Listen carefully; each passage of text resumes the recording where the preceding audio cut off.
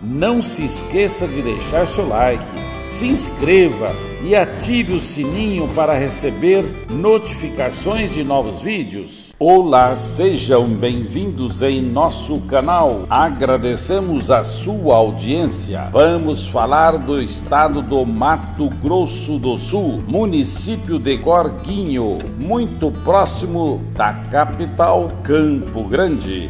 A propriedade fica no distrito do Taboco, área total 720 hectares, uma fazenda com aptidão para pecuária, área aberta 200 hectares, formadas em pastagens com seis divisões, seis invernadas, área com aproveitamento para pecuária, reserva legal 20% mais APPs, altitude 320 metros, uma topografia plana e semiplana, teor de argila de 15 a 23%, tipo de solo terra avermelhada, terra preta e terra mista, índice pluviométrico de 1.600 milímetros a 1.700 700 milímetros por ano. Recursos hídricos nascentes e córrego. Logística: 25 km de distância de Taboco, distrito do município de Corguinho.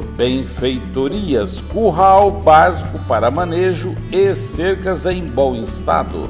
Documentação totalmente regularizada, escritura gel e car, preço por hectare 13.888 reais, preço total R$ 10 milhões, condições de pagamento, entrada e o saldo a combinar comprador e vendedor. Nossa imobiliária cresce a todo dia graças aos nossos companheiros e parceiros. Atuamos no Mato Grosso do Sul, Tocantins, Pará e Maranhão. Temos centenas de imóveis à sua disposição.